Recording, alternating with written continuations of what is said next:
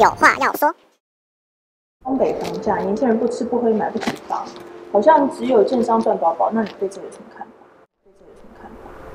那个新城屋的房价的定定呢，主要就是两大成本，第一个就是营造的成本，哦，再来就是土地的成本，哦，那才会去反映到这个末端的售价。那呃，营造成本当然会因地而异，因案而异啊。但是土地要先取得，先有土地才有可能进到规划的阶段。如果是私人地主，那当然地主要卖多少钱？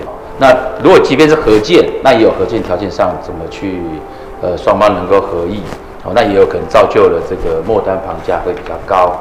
那所以我个人认为，呃，我们呼吁我们政府，哦，尤其现在呃会新上任的总统，针对台湾的土地的这个政策，哦，你如何去定定一些？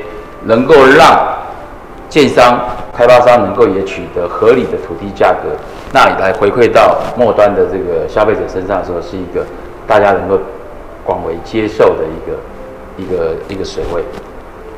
那以上是我代销观点。